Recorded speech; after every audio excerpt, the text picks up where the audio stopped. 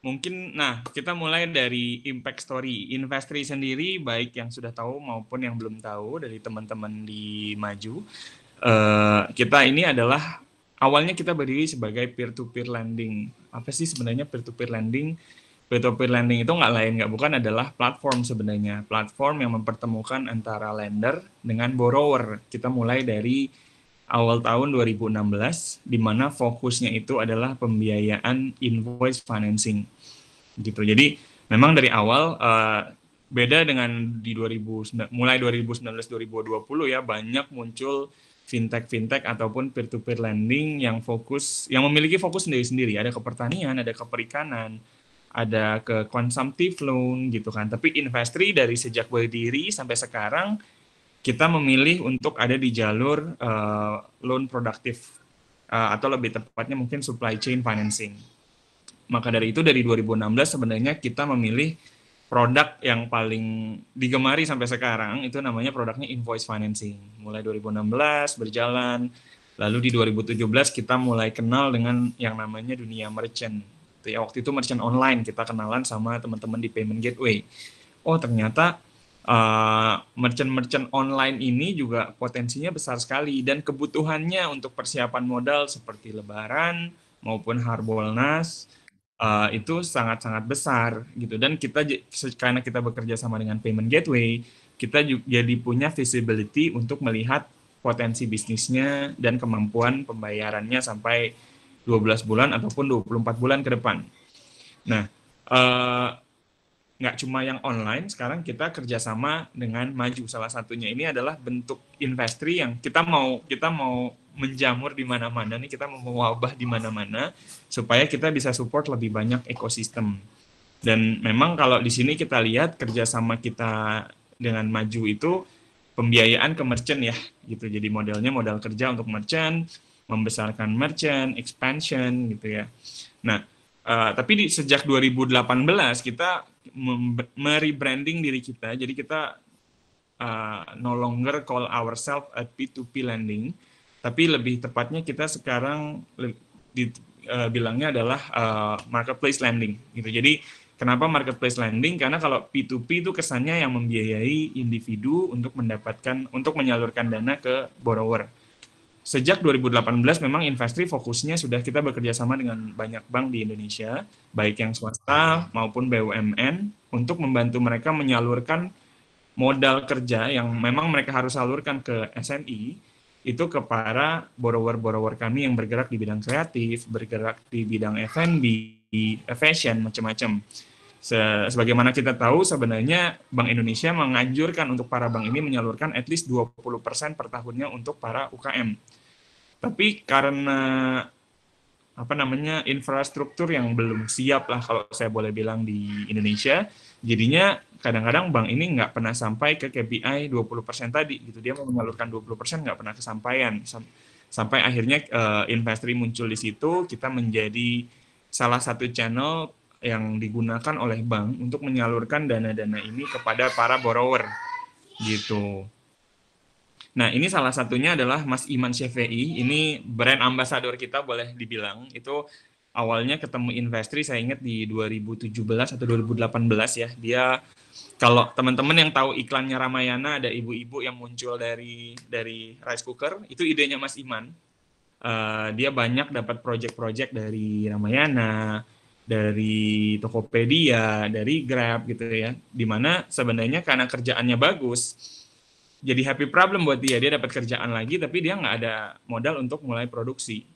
Nah karena dia kenal dengan investri akhirnya dia pikir oh ya udah saya ajukan aja pinjaman di investri atau modal kerja di investri dengan PO-PO atau job order job order yang diberikan kepada Mas Iman dan timnya. Itu mungkin saya sedikit masuk ke fintech sendiri ya di Indonesia sebenarnya bukan hal baru. Uh, apa yang kita kenal apa atau apa yang kita gunakan sehari-hari sampai sekarang seperti GoPay, seperti OVO itu adalah bentuk fintech juga, cuma dalam sisi deposit. Penggunaan data di sini dibagi empat ya, kalau yang saya kategorikan Lalu ada loan, salah satunya adalah peer-to-peer lending, ada social credit scoring gitu. Jadi jangan teman-teman juga harus mulai hati-hati menggunakan social media karena ada perusahaan di luar sana yang menganalisa begitu kita ngajuin pinjaman, dia bisa menganalisa dari behavior kita di social media. Ada investment seperti bibit, seperti tanam duit, itu sebenarnya fintech juga yang fokusnya di investment Lalu ada payment. Sorry, tadi uh, GoPay dan OVO itu ada di payment, dia termasuk di mobile payment. Lalu ada juga Maju, salah satunya ada payment gateway dan banyak macam lainnya lagi. Nah, saya langsung masuk ke Investri nih. Investri tadi sesuai saya cerita ya, kita uh, saya salah satu yang bergabung di 2016. Karyawannya waktu itu masih 29 sampai akhirnya kita di 2017 bisa closing series A uh, karena as a startup kita juga bekerja sama dengan venture capital untuk mensupport modal kerja kita. Nah, lalu di 2017 akhir itu juga kita sudah terdaftar di uh, eh, OJK. Perlu berhati-hati juga nih teman-teman karena di kalau kita ngomongin fintech, P2P lending ataupun marketplace lending itu pastikan kita harus kerjasama dengan yang nggak hanya terdaftar, registered, tapi juga berizin. Nah, Investri alhamdulillah di 2019 kita sudah mendapatkan izin di batch di batch pertamanya OJK, salah satu yang pertama yang mendapatkan izin OJK. Di 2008, tadi saya cerita ya, di 2018 kita mulai keluarin produk-produk baru di luar supply chain atau yang lebih dikenalnya invoice financing atau PO financing. Di 2018 kita lebih terbuka lagi nih matanya. Kita lihat, oh ini ternyata kita juga bisa kok biayain merchant, kita juga bisa biayain seller, online seller maupun reseller Lalu kita juga meluncur produk syariah kita juga. Jadi uh, untuk teman-teman yang ingin misalnya saya mau pembiayaannya yang bersifatnya syariah, itu kita sudah dapat uh, izin dari Dewan Syariah Nasional, fatwa halalnya sudah ada. Lalu kita juga alhamdulillah dipercaya oleh pemerintah untuk menjadi agen atau mitra distribusi dari uh, apa bondsnya pemerintah di 2019 kita mulai international expansion, salah satunya ke Thailand, saat ini juga sudah ada di Filipina, dan tadi saya cerita kita mendapatkan izin dari OJK, jadi sudah sah, sudah resmi, uh, dan kita lakukan banyak inisiatif-inisiatif lainnya seperti kerjasama dengan eh, LKPP, di mana LKPP itu banyak vendor-vendor kementerian yang sama kayak tadi Mas Iman, uh, masalahnya sama kayak Mas Iman, dapat kerjaan, tapi dia nggak tahu gimana cara dapetin modalnya. Itu. Nah, ini tadi saya jelaskan sedikit di depan. Jadi bisnis modelnya investor itu seperti apa sih? Gitu. Jadi kalau yang hijau bulat di sebelah kiri ini adalah apa yang kita sebut SME borrower. Gitu. Jadi borrower-borrower yang sekarang sudah berbisnis, tapi dia ingin tumbuh lebih jauh. Uh, ada kesempatannya, tapi tidak ada modalnya. Selama ini kan masalah yang dihadapi uh, apa namanya entrepreneur atau pengusaha di sektor SME apa di di di segmen SME ini kan bisnisnya begitu baru mulai dari bootstrapping ke level startup lah saya bilangnya itu demandnya sangat tinggi banyak permintaan. Tapi waktu challenge-nya challenge pertamanya biasanya waktu oh demandnya sudah tinggi saya harus expansion saya nggak ada modal. Akhirnya uh, bingung cari modal kesempatannya sudah lewat bisnisnya nggak ke mana-mana gitu ya nah di sebelah kanan ini ada institutional lender dan juga private lender. Ini saya yang saya bilang tadi Investri nggak hanya individual, tapi juga kita kerjasama dengan bank dan multi finance untuk menyalurkan dana ke para borrower. Investri di tengah-tengah kita menganalisa nih si borrower. Borrower ini ber, uh, eligible nggak sih untuk dapat pinjaman di Investri melalui Investri?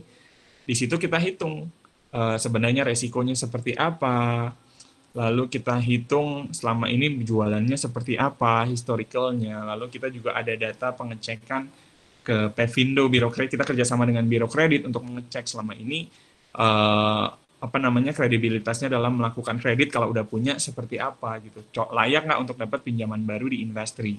Nah, setelah layak kita kita tahu uh, pengusaha ini eligible, kita temukan dengan para kita temukan secara online ya gitu. Jadi kita bukan kita pertemukan face to face tapi kita jual nih barangnya kita bilang ke institutional lender maupun ke private lenders tanpa harus menyebutkan nama bisnisnya kita bilang orang ini punya bisnis coffee shop misalnya selama ini jualan sudah dua tahun penjualannya per bulan katakanlah 200 juta tapi dia mau menambah outlet atau dia mau mengganti mesinnya nih gitu supaya jualannya lebih besar lagi. Nah, institutional lender dan private lender ini melihat ini sebagai opportunity. Oh, saya mau ikutan dong misalnya satu juta, 10 juta, 100 juta sebagai sarana mereka untuk kasarnya berinvestasi. Oh, saya mau ikutan deh di bisnis si coffee shop tadi 10 juta gitu. Nanti dicicil balik sama si pengusahanya, si borrowernya dalam waktu yang di, di, disetujui bersama tiga bulan atau enam bulan atau 12 bulan seperti itu. Investri fokusnya adalah kita mempertemukan secara online, kita melakukan due diligence, kita yang analisa borrower ini seperti apa, kita yang mengatur perjanjian kreditnya semuanya secara online juga, dan terakhir kita yang menjaga dalam hal kalau pinjamannya perlu insurance, kita kerjasama juga dengan insurance party. Itu. Nah, ini siapa aja sih sebenarnya yang pinjam di Investri sebenarnya? Ya, jadi ada empat kategori di atas, bisa dilihat ada supplier and vendors. Ini salah satu yang paling besar di kita. Uh, misalnya supplier IO-nya Sampurna gitu atau misalnya logistiknya Nestle. Mereka kan biasa dibayarnya nggak langsung tuh sama si payer-payer atau klien-kliennya gitu kan. Seperti Sampurna sejak pandemik mereka bayar suppliernya tuh 120 hari Kebayang nggak kalau misalnya dapat kerjaan tiap bulan dari Sampurna, nunggu dibayarnya 120 hari. Pastinya cash flow yang dijaga tiap bulan ini akan jadi lebih berat kan. That's why kalau udah selesai pekerjaannya atau dapat project dari Sampurna sebenarnya nggak usah mikirin modalnya lagi gitu, biar investor yang pikirin modalnya. Ada small manufacturers, ada resellers, dan online merchant. Nah, ini yang kita kategorikan untuk pembiayaan pengembangan bisnis sebenarnya di tiga terakhir ini. Misalnya yang kayak tadi saya cerita coffee shop ataupun barbershop gitu ya. Saya mau ekspansi usaha uh, lalu bagaimana nih cara dapetin modalnya. Sedangkan saya nggak ada jaminan aset gitu. Nah di investasi sendiri kita nggak pakai jaminan aset, tapi benar-benar yang kita analisa adalah histori transaksi atau histori penjualannya. Lalu ada demografi uh, sedikit pie chart di kanan bawah paling banyak itu sekarang memang masih kreatif dan media gitu yang kita biayai ya gitu ini harusnya ada perubahan lagi segmen sedikit sejak adanya pandemi di mana sektor logistik and transportation sektor health sektor hygiene pastinya jauh lebih meningkat. Itu ya. Nah ini sedikit uh, pembahasan teknis mengenai gimana sih caranya investor kok tahu orang beresiko atau enggak. Ya kita kerjasama dengan banyak pihak kita kerjasama dengan banyak data gitu ya untuk diolah untuk menjadi dijadikan grading yang ada di kotak ini. Ada yang eligible untuk dapat A plus ada yang eligible untuk dapat mungkin dapat pinjaman tapi C uh, ratingnya gitu ya semakin buruk tapi uh, semakin bagus gradingnya maka biaya ataupun bunga yang harus dibayarkan pastinya juga akan semakin rendah. Di mana kalau misalnya gradingnya semakin jelek, ya biaya yang dibayarkan harus semakin besar gitu. Karena balik lagi kita menganut asas risk based pricing. Karena yang membiayai nanti juga lendernya akan lihat, oh saya suka yang beresiko nih, ya dia wajar untuk dapat pricing yang lebih tinggi dibandingkan yang mungkin ratingnya di A+. Nah, kalau kita masuk ke produk-produknya Investri, itu kita yang pertama ada invoice financing, lalu ada buyer financing. Invoice financing itu tadi ya saya sudah cerita suppliernya Nestle, suppliernya Danone misalnya. Untuk buyer financing ini kebalikannya dari supplier tapi adalah buyer. Oh saya beli susu di Danone, lalu saya jualan di ruko saya misalnya. Jadi reseller ya. Itu kita bisa biayai juga. Working capital term loan ini adalah uh, pembiayaan untuk merchant atau modal kerja cicilan. Sebenarnya bisa sampai 24 bulan. Ada online seller financing, jika teman-teman juga berjualan online, kita bisa support modal kerjanya jika kerjasama ke salah satu platform. Dan yang terakhir kita jual adalah hutang pemerintah sendiri, gitu gitu ya, sebagai salah satu mitra distribusi. Nah, tadi saya sempat cerita uh, mengenai UKM tangguh nih, UKM tangguh nih apa sih sebenarnya? Investor ini sejak awal sejak pandemi ini terjadi sebenarnya fokus kita itu adalah uh, yang yang selalu jadi pertanyaan kita sendiri adalah apakah para UKM ini masuk ke segmen eh, masuk masuk ke mode survival atau ma masuk ke mode expansion. Gitu tentu aja pasti beda-beda ya. Ada yang ada ada pebisnis saya tahu teman-teman yang di F&B pasti mengalami pus kepusingan yang luar biasa saat pandemi kemarin apalagi saat PSBB uh, orang nggak keluar, nggak ada yang nggak ada yang dine in gitu, pastinya pemasukannya juga uh, akan sangat jauh menurun. That's why kita kategorikan itu masuk ke survival mode lah. Yang penting bisnisnya tetap uh, jalan, nggak uh, pengurangan pegawai bisa jalan terus. Uh, kalau untuk expansion mode itu banyaknya memang di sektor logistik di mana semakin banyak demand karena kita tahu semua orang belanjanya online jadi sektor windfall uh, windfall sektornya seperti logistik, seperti pergudangan, uh, hygiene produk itu juga mengalami uh, impact yang sangat signifikan gitu. Jadi bisnisnya malah naik. UKM tangguh sendiri sebenarnya didasari dari pertimbangan tadi gitu. Jadi UKM yang memang mau survival mode ataupun mau expansion mode kita support nih gitu. Tapi tetap kita lihat asas risikonya uh, kalau memang survival mode pastinya apa namanya kebutuhan pendanaannya juga bukan yang luar biasa besar dong gitu. Ini kan seperti bridging sampai dengan masa pandemi ini berakhir. Kita tahu sekarang udah new normal, sudah boleh dine in. Jadi sebagai masa persiapan untuk masuk ke fase new normal. Sedangkan teman-teman yang ada di expansion mode tadi ya memang dia jadi jor-joran. Oh ya udah deh saya nambah gudang, saya nambah beli truk gitu kita bisa analisa juga dari situ dan memang kalau kebutuhannya masuk akal kita akan provide pembiayaannya juga. Nah, di satu sisi ada itu di sisi peminjam atau borrower ya. Di sisi pahlawan UKM itu adalah untuk para lender kami gitu. Jadi dari karena semua orang pada di rumah daripada uangnya nganggur aja dipakai untuk sesuatu yang sifatnya konsumtif, mendingan yuk kita bantuin para UKM ini untuk uh, bangkit bisnisnya di mana juga si lender-lender ini bisa menikmati bagi hasil yang diberikan oleh para borrower gitu. Nah, mungkin ini sedikit uh, yang saya pelajari during pandemik ya beberapa data yang saya bisa lihat uh, sedikit sedikit uh, apa namanya teorinya yang pertama ya mobilize bisnisnya immediate termnya itu dia mobilize uh, mengamankan bisnisnya yang medium termnya dia harus stabilize sampai nanti saya di slide berikutnya saya jelaskan apa maksud dari teori ini ya. Yang terakhir baru strategize. Sebenarnya sih ini ini untuk menemukan new normal uh, supaya sekarang kita tahu bisnis sudah uh, beralih ke new normal. Jadi semua orang bisnisnya mungkin yang tadinya di sebelum 2020 ini udah punya plan sendiri, tapi di 2020 uh, pasca pandemik pastinya harus mempersiapkan strategi baru yang pastinya nggak sesuai dengan apa yang sudah dia persiapkan. Nah ini ini saya uh, ngambil sedikit contoh uh, dari beberapa brand baik dari luar negeri maupun dalam negeri ya. Yang sebelah kiri dari luar negeri, yang dari kan, yang sebelah kanan itu dari dalam negeri. Seperti Pizza Hut, uh, kita tahu dia sekarang expanding timnya walaupun ini tidak berhasil uh, salah satu manuvernya dia dia itu sekarang contactless delivery dia hiring 30 ribu orang seingat saya waktu di quarter awal quarter satu. Karena dia langsung jualannya itu uh, store-nya ditutup dia pindahin semuanya ke online dan dia garanti itu melalui contactless delivery bahkan ada yang melalui drone.